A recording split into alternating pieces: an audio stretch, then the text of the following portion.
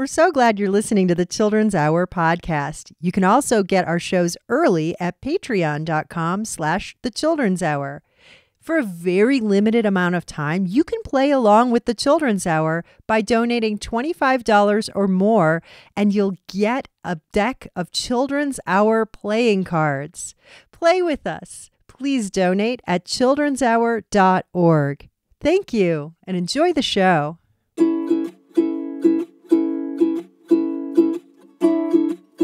What is the instrument that every single rhinoceros has, but none of them play? I don't, I don't know what. The trombone.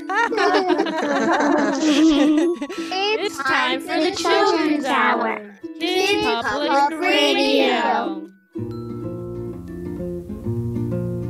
Oh,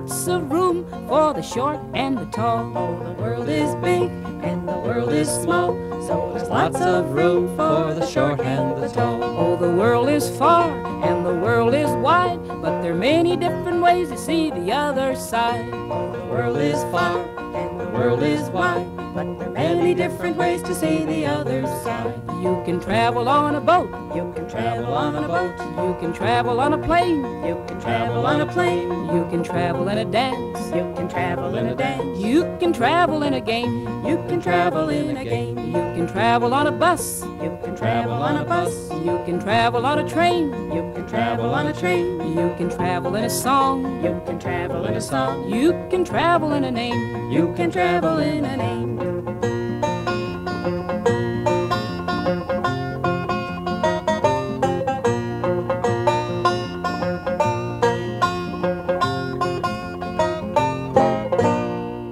Ella Jenkins from a CD called Multicultural Songs for Children.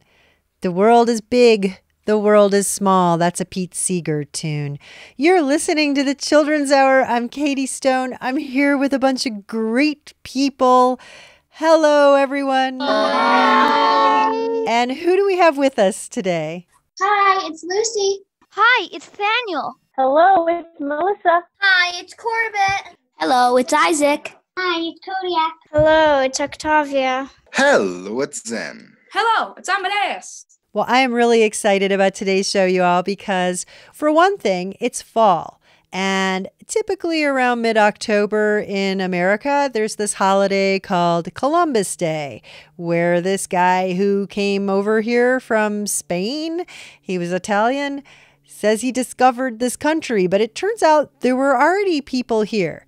And in the state of New Mexico, we don't celebrate Columbus Day at all. We celebrate Indigenous Peoples Day.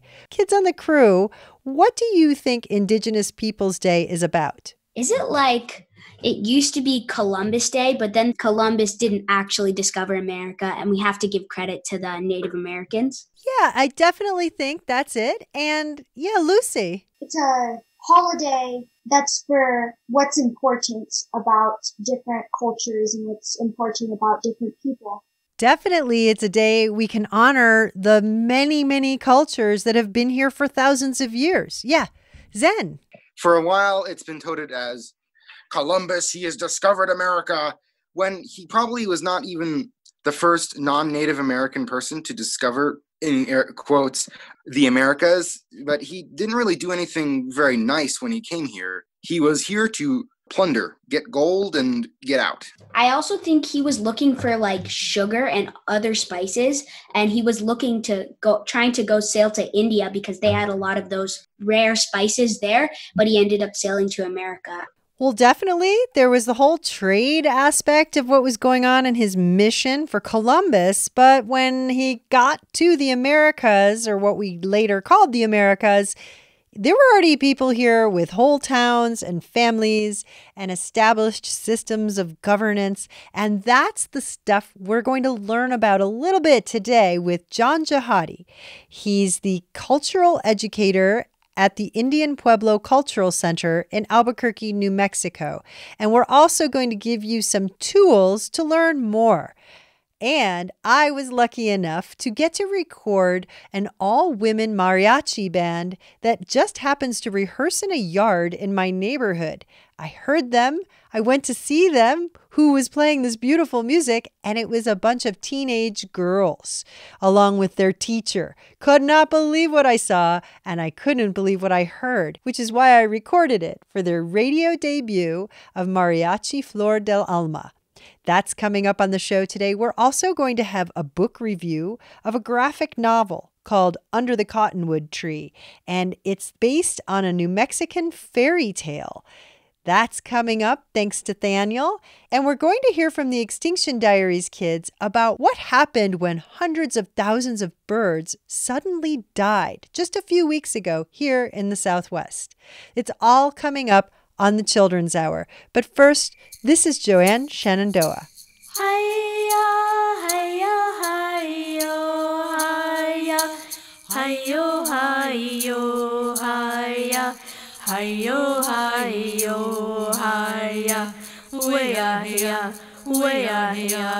way. A long time ago, I was afraid of the dark. I took a long look down deep in my heart. All my fears were inside because I didn't know there's a light shining for you wherever you go.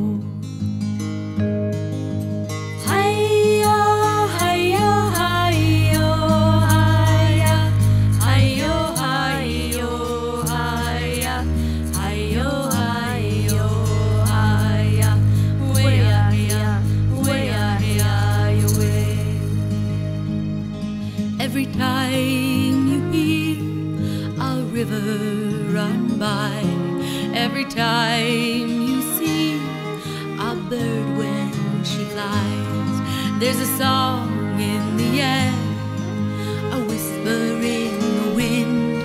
I believe in their power, all spirits sing.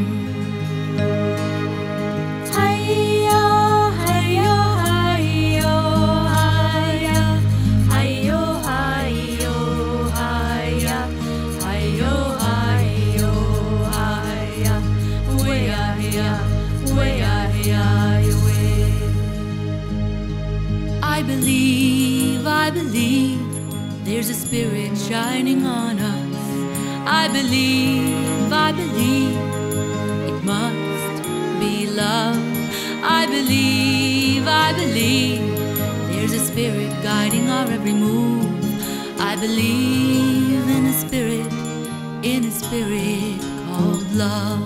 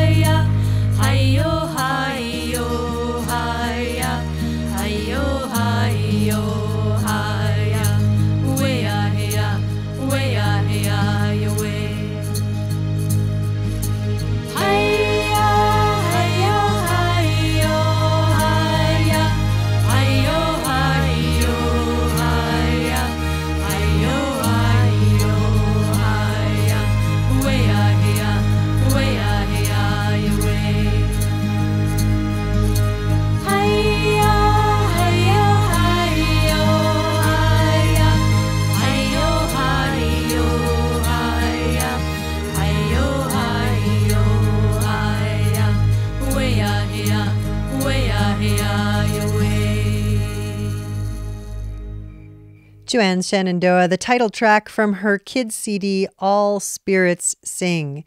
Joanne Shenandoah is a singer, composer, acoustic guitarist based in the United States, and she's a member of the Wolf Clan, part of the Oneida Nation. You're listening to the Children's Hour, and with us on the show again is our friend from the Indian Pueblo Cultural Center, cultural educator John Ghahate. Welcome back to the Children's Hour, John. It's wonderful to be back with you, Katie. And I again truly appreciate all that you do and all the contributions you help into helping not only entertain but educate. That's the most important thing. And that's really our goal to help educate the public as it applies to our Pueblo communities. So it's really an honor again. Well, thank you for being on the show with us and doing your part in helping us all be a lot smarter about Indigenous America. So, we want to talk about Indigenous Peoples Day, and the kids took a stab as to what they think it's all about, kind of a replacement for Columbus Day. I'd love to hear your take on Columbus Day and why we should replace it with Indigenous Peoples Day and what that day is all about. Let me begin, first of all, uh, to kind of give people an understanding of why it's important to us to recognize this particular date. Just imagine yourself going into a movie theater and maybe it's already the movie's already been going on for half an hour. Or you get a book that you want to read and there's the first 3 to 4 chapters of the book gone and all you can start out is chapter 4 or 5. You're not going to get the whole picture. You're not going to get the whole story. Well, unfortunately that's what Columbus Day implies is that the history of the Western Hemisphere, all of those groups of people that lived in the Western Hemisphere did not begin in 1492. Centuries before, even before the United States became a country, even before the Roman Empire became the Roman Empire, and even before Jesus was born, there were human beings on this side of the world that they were building communities. They had families. They were growing crops. They were building cities. They were doing all the things we do pretty much today at a different uh, level of technologies. It's not that we're changing history. And sometimes people who perhaps have their own perspective of history as it applies to them, they will accuse those who want to add to that history of being revisionist. We're, we're changing it. And that's what the word revisionist means, is to change it we don't look at it in that regard. Our responsibility here at the Indian Pueblo Cultural Center, it says in our mission statement, is to accurately and certainly with respect tell the story of those groups of people that were living here long before those groups of people who came from the other side of the world came to this side. That we deserve the right to tell our story. So, with that responsibility, that's why we feel it's important to not only certainly we recognize that Christopher Columbus, he was a real human being. We recognize we know where he came from, we know his family. But what we don't know is really all those groups of people that lived on this side of the world, their contributions, their inclusion into the global society that we have now, of how we participate in that global society. We know that corn, beans, squash, potatoes, all of those foodstuffs that we use today in our diets have its origins here in the Western Hemisphere that were not known on the Eastern Hemisphere. So that's why we're not looking at it in replacing Columbus Day. We're simply saying that this is the story that's left out. This is chapters one, two, and three that were not included in what we were taught, most of us, especially as US citizens, about those indigenous peoples here in the Western Hemisphere. So we don't want to change history. We simply want to say, hey, you forgot our part. We want to add to that. How is Indigenous Peoples Day celebrated differently than Columbus Day? Someone asked me a similar kind of questions as compared to the difference between Native and Indigenous. Okay, so let me just kind of point out what my own perspective is when I look at those two words, and again, they're words, they're terms that we use almost daily, as especially as it applies to here in New Mexico. Well, native oftentimes is very generic, or means it can apply to anything or anybody. You could say you're a native New Yorker, or you're a native uh, Colorado from from Colorado. That means that's where you originate. That's where you initially come from. But perhaps there was some of those who came even before you. Maybe that person came from West Virginia, moved to Colorado, and you've lived there for several generations, but now you're a native from Colorado. When we say the word indigenous, it has a much more specific impact as it applies to those groups of people who have always been there. That's the slight difference. Even though the words mean almost the same, native that is a little more can be applied to everybody or a number of groups but indigenous can be more applicable to those groups that have a more connection to their sense of place like you know, an atom. Let me give you. I'm a science teacher, so I use all these science metaphors. An atom, which is the smallest part of a piece of matter, has a central part. The nucleus. We as human beings also, as especially as indigenous people, have a central place where we belong. And that's really the story of the Indian Pueblo Cultural Center. We are responsible for telling that story. We take great pride and we take amount, a certain amount of energy on our daily responsibilities to ensure these stories are told because they really need to be told because oftentimes they're not. So that's our goal, our responsibility.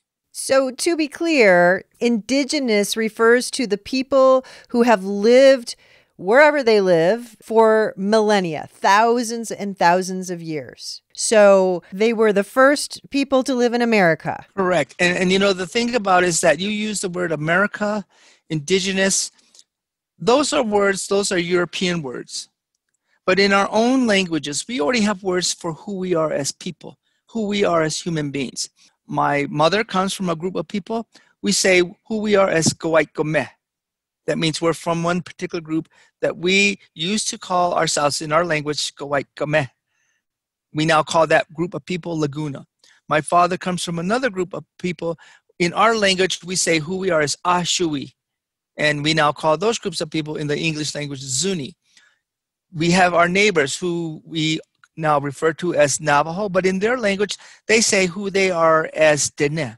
So all of these groups of people who were here in their own languages already had a name for themselves. And even this, these two continents, the North and South of America, there were names already amongst these groups of people for those lands. It's just now that we call it America.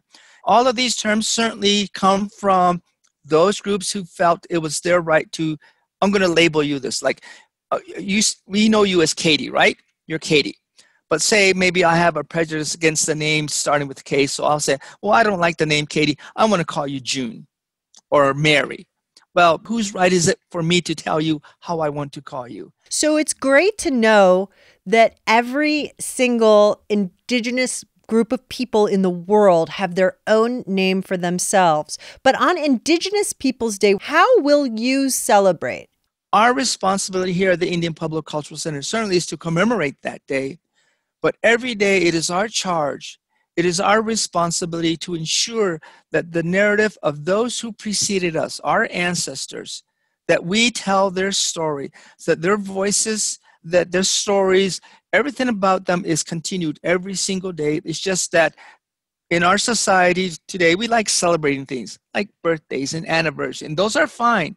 But every day we celebrate Indigenous Peoples Day by making sure that we tell a story that is respectful, that is historically correct, both by science and those who have preceded us, that we continue that story on a daily basis. That's how we celebrate it.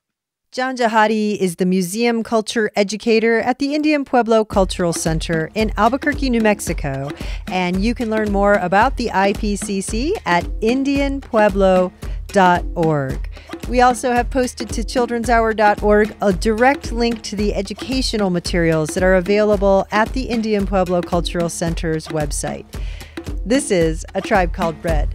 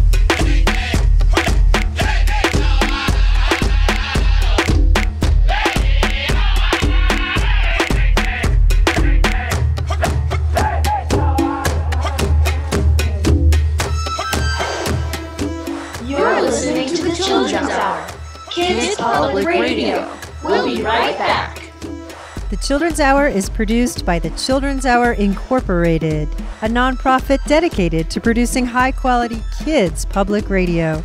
Find out more at childrenshour.org. Support provided by Electric Playhouse, an all ages dining and interactive entertainment wonderland based in Albuquerque, New Mexico. Experience gaming in a whole new way, transporting you to another reality. See for yourself at electricplayhouse.com. Support is also provided by the City of Albuquerque Cultural Services Department and the Urban Enhancement Trust Fund.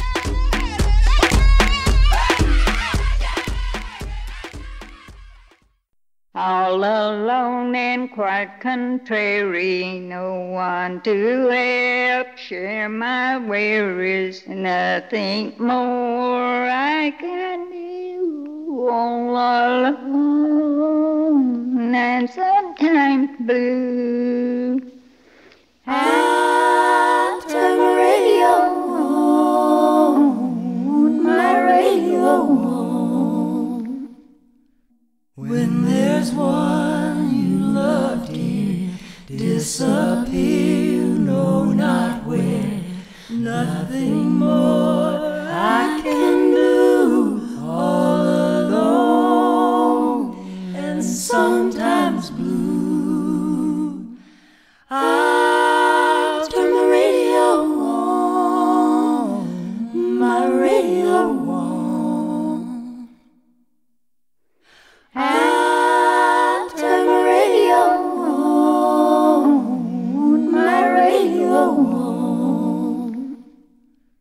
Yes, I traveled over the highway and I traveled in the air. Couldn't find him anywhere. From the mountains through the valleys, from the desert to the plains, to the deepest caves of ocean, traveled over canyon again. Sometimes up, sometimes down, sometimes going round and round. Nothing more I can do all alone, and sometimes blue. I look forward to that day when the right one comes my way. Nothing more I can do all alone and sometimes blue. Turn my radio on, my radio on. I'll turn my radio on, my radio on.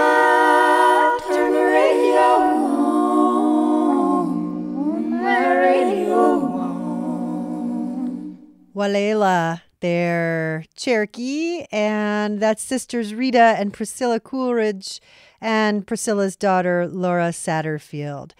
And you're listening to the Children's Hour. We're glad you have the radio on. We're pretty excited because coming up is the radio debut of an all women mariachi band that is mostly teenage girls. This is Mariachi Flor del Alma, right here on the Children's Hour.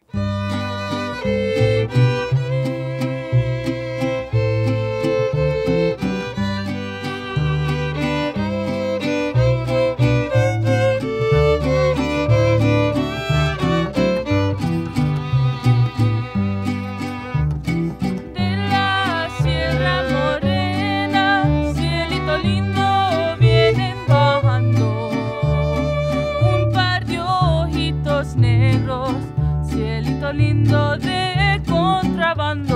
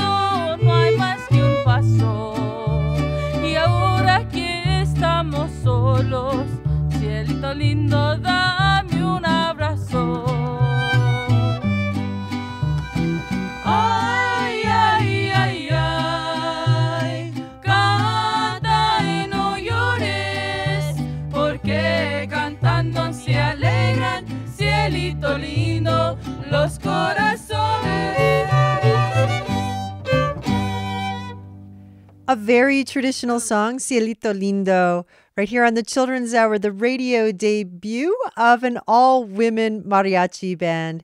Please introduce yourselves. We are Mariachi Flor del Alma, and I'm Ana Sandoval Montoya. I play the vihuela. And on the guitarón, we have. Uh, I'm Leila Naomi. I'm 18 years old. And on the violin, we have. I'm Jasmine Ruiz Sandoval, and I'm 19 years old. And I'm Zita Montoya, and I'm 17. Well, we are just so lucky on the Children's Hour to be here at your rehearsal, which is in a backyard in Albuquerque, New Mexico. And we're so excited to have your radio debut. Tell us what is next. Our next song, um, it was one of my dad's favorites. He's from Taos, from northern New Mexico. He's also Jasmine's grandpa. And the name of this song is Ojitos Verdes. One, two, one.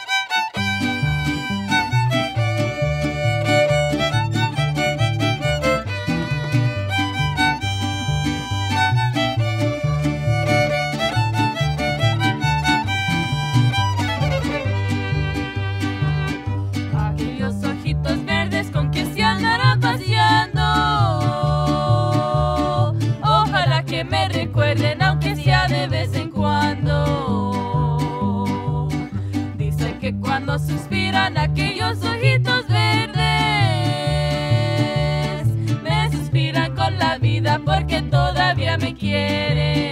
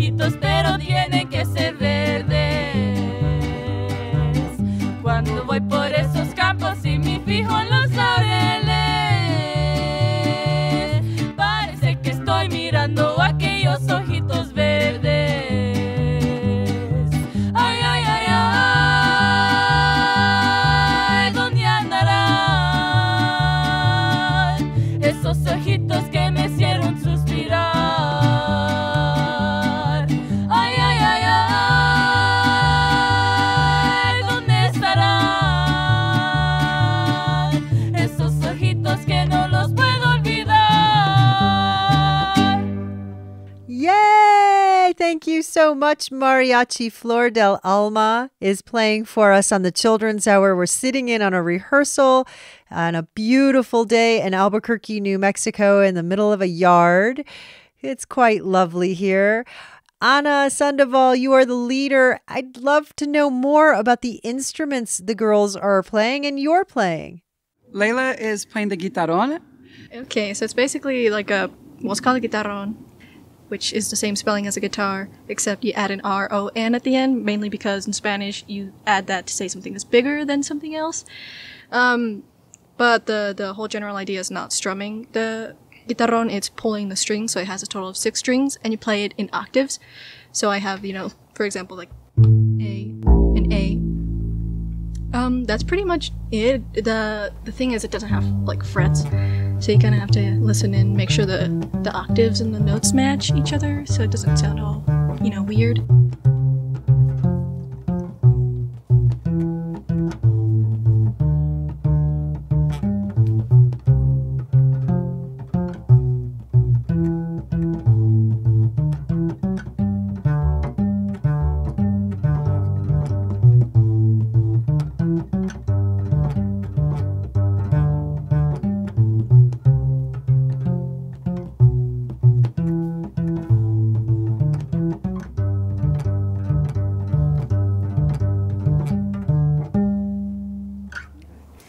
My instrument is called a vihuela. It came from Guadalajara. It was brought from Mexico. And it's basically a little round back guitar that uh, only has five strings instead of six strings, so it doesn't have the E string, uh, the, the low E string. It only has the high E string. And it smells really good. You smell the inside of the wood. It's a beautiful instrument. And it's called a vihuela. Tanto tiempo disfrutamos este nuestras almas se acercaron, tanto así que yo guardo tu sabor, como tú llevas también sabor a mí. And that's my vihuela. Um, so my name is Zita Montoya and I play the violin.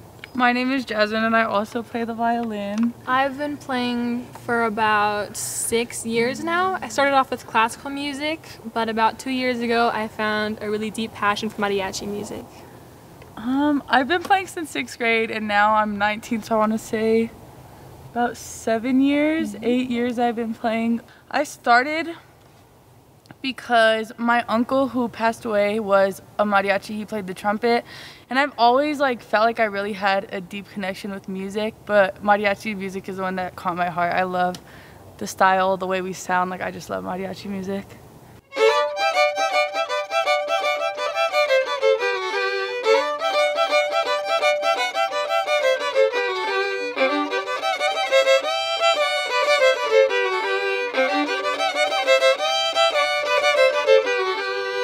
So the next song is like our signature song because we are Mariachi Flor del Alma, and this is called Flor de las Flores.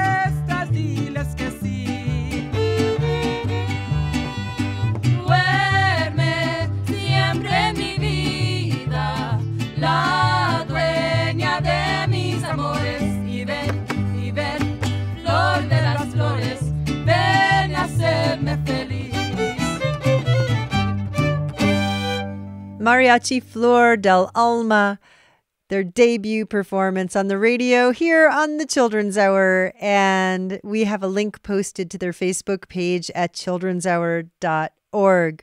Or you can also search for them Mariachi Flor del Alma. Spin your poi high. Spin your poi low. Rerete poi kiraro Spin your eh. poi fast. Rerete poi kiaterete Spin your poi slow. Rerete poi pochuri eh. Now spin yourself round and around Stamp your feet on the ground. Ooh. Spin your poi high. Spin I did your voice, Lord. Now spin yourself round and round. Stamp your feet on the ground. Stop and take a breath. Teha. Tahi, rua, toru, catch. Oh.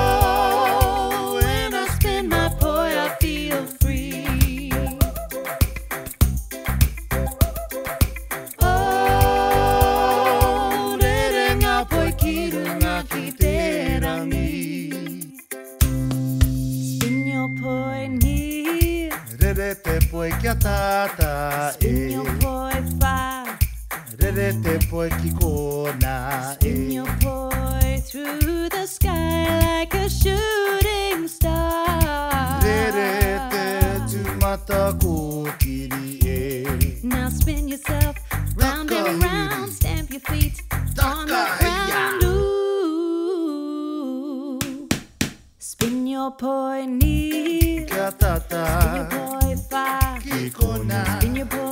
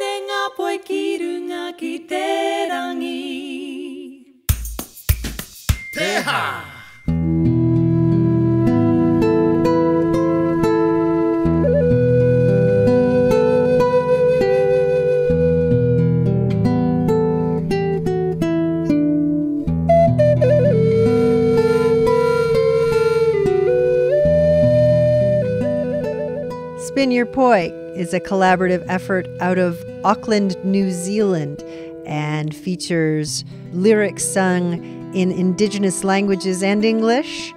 And we have a video posted of Spin Your Poi to children'shour.org, and you can see exactly how the moves are supposed to be done. You're listening to the Children's Hour in the background, Ronald Roybal, Spirits of Acoma. Coming up, we have Thaniel's book review of Under the Cottonwood Tree and The Extinction Diaries.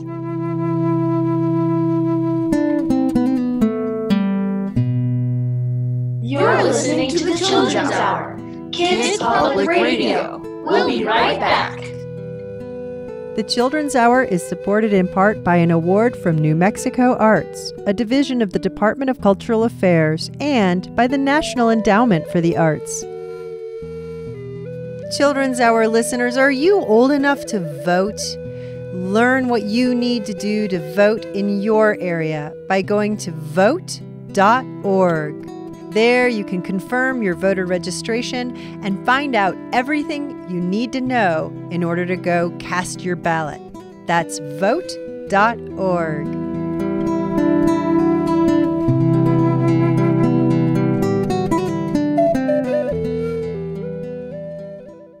Extinction Diaries. The sudden death of large numbers of animals, known as a die off, is an event all too common across the planet. However, the massive bird die off that began sweeping the western United States in summer 2020 may be the largest ever known in the U.S., with millions of birds dead. A senior researcher at Cornell University lab believes the tragedy is unprecedented. Record breaking wildfires, heat, and a sudden plunge in temperatures all may be factors. There are witnesses who say they saw birds just fall from the sky. Experts say the sudden deaths add significantly to extinction probabilities. In the last 50 years, the US and Canada lost one third of its birds, a number close to 3 billion. Crashing populations of insects, amphibians, reptiles, and mammals are also happening. Some birds are disappearing even faster. For instance, in the same 50 years, one half of all grassland birds died off. Birds are an indicator species, a sort of canary in the coal mine to all Earth's biological systems. Unfortunately, this massive die off is just the latest in a long line of recent wildlife tragedies.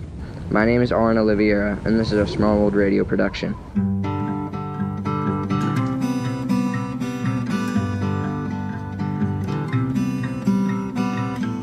I'll be sleeping under stars tonight. Not sure exactly where I'll be. Maybe underneath the pale moonlight, or maybe underneath that tree. Black smoke riding in the sky tonight. Everything'll be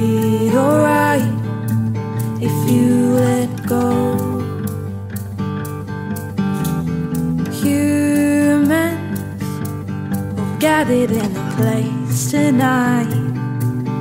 Everything'll be alright if you let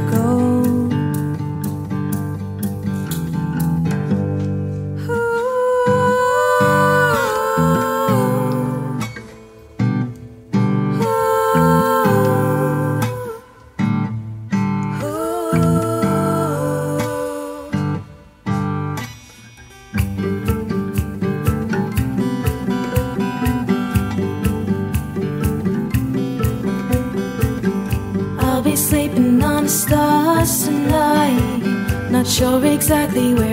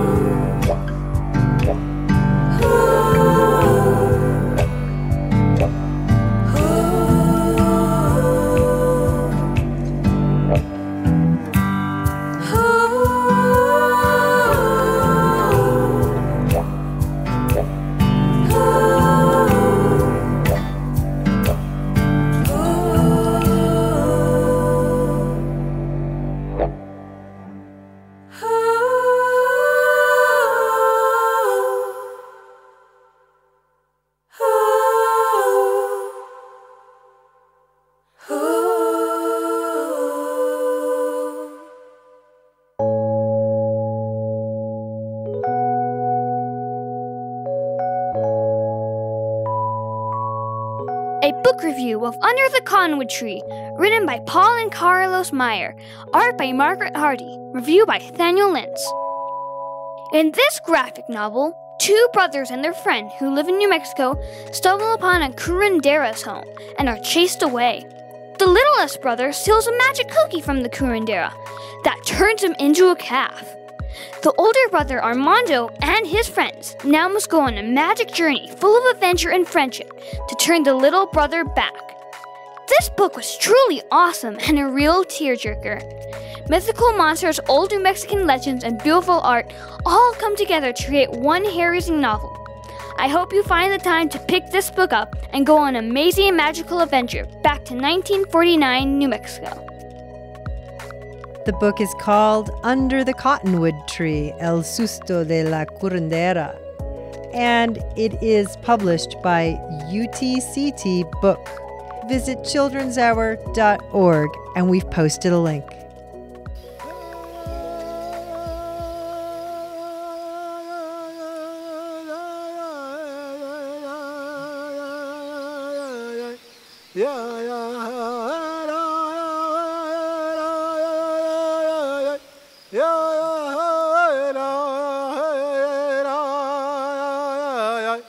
A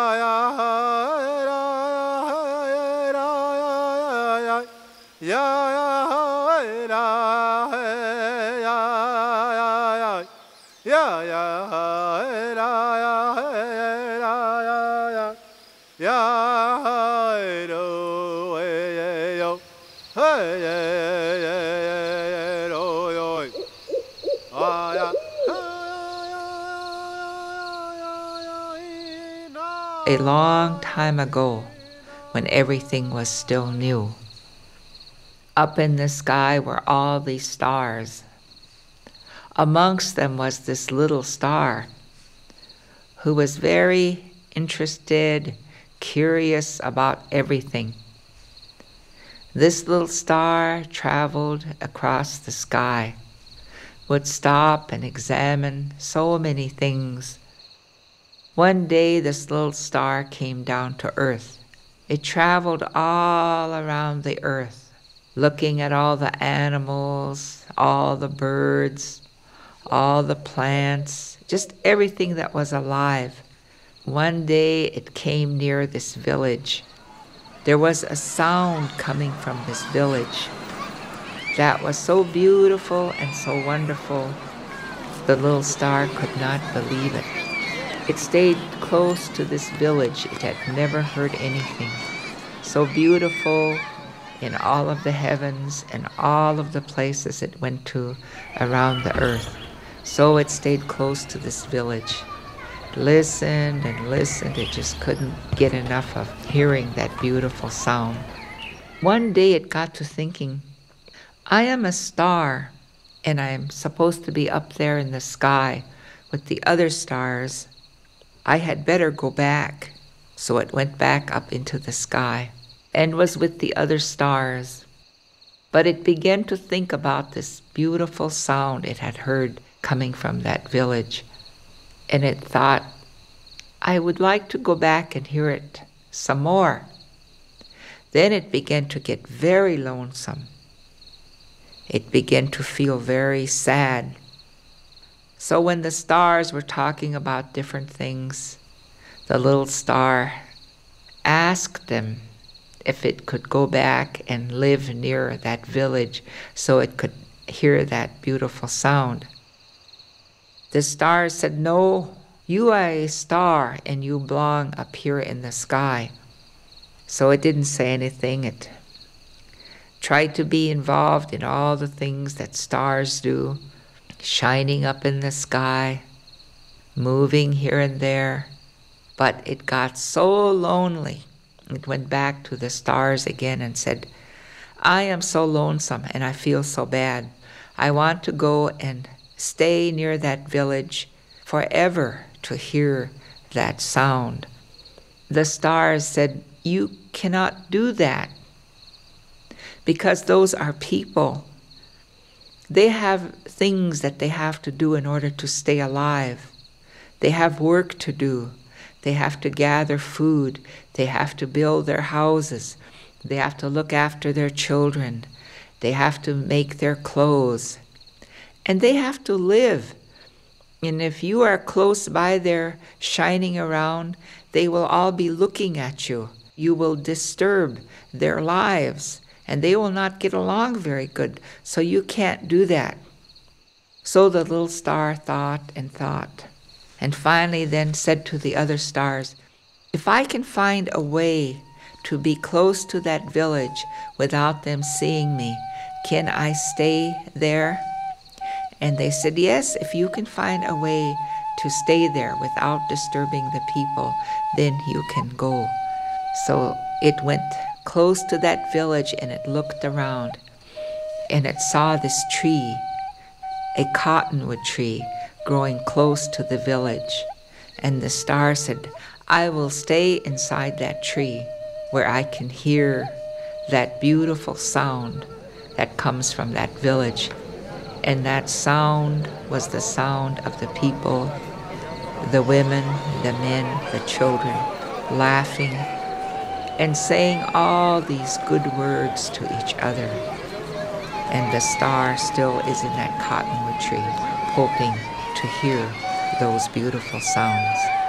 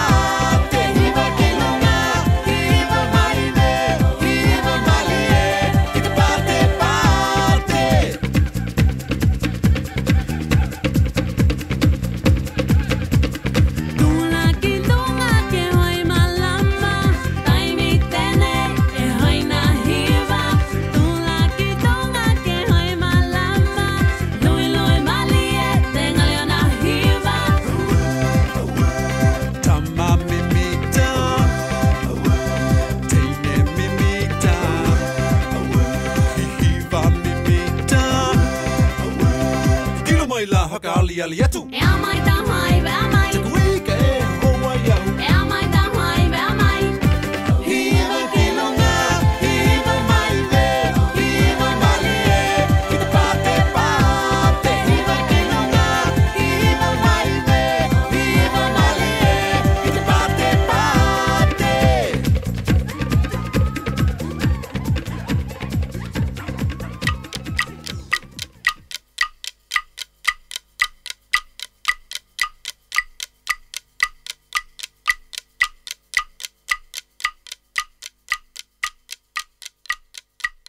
That was Te Vaka, which is an oceanic band comprised of indigenous South Pacific Islanders.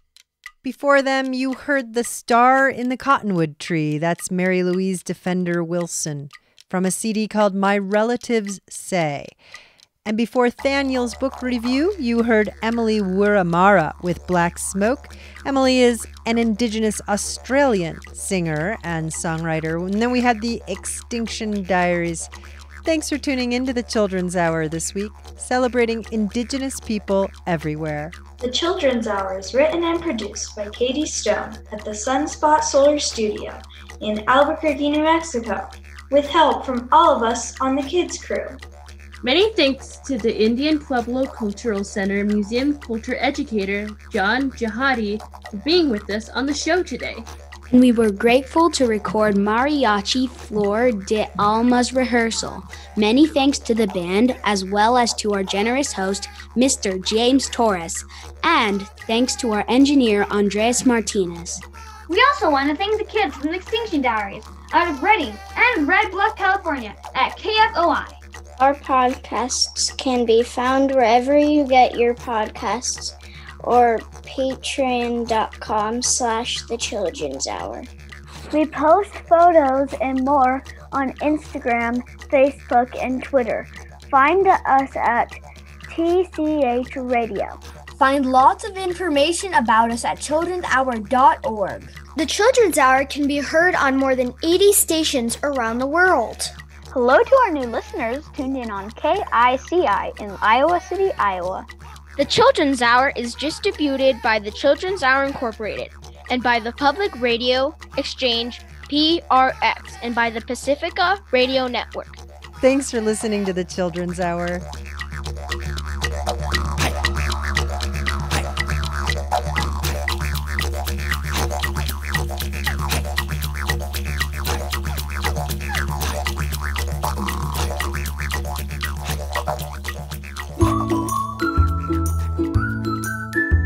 You've been listening to the Children's Hour. We're produced by the Children's Hour Incorporated, a tax exempt nonprofit based in Albuquerque, New Mexico, and we're dedicated to producing high quality kids public radio. Find out more about us at children'shour.org. Support provided by our sustaining listeners and from the city of Albuquerque.